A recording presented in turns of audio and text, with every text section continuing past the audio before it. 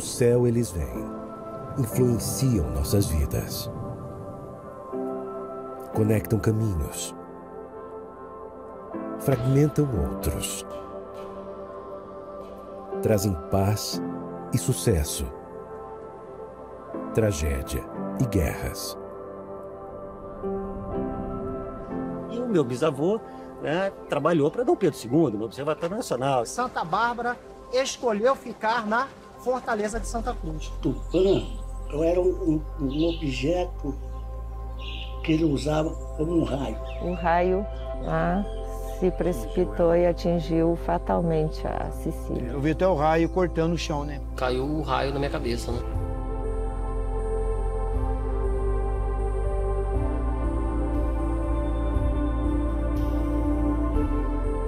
Tão distantes, mas tão presentes.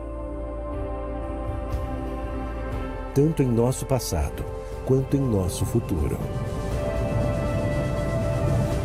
Porque eles escolhem alguns de nós. Um instante.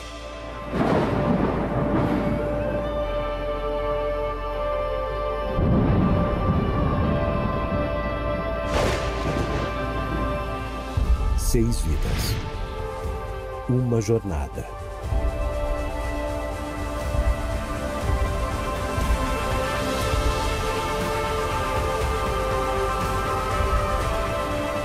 Um breve instante que muda nossa vida para sempre.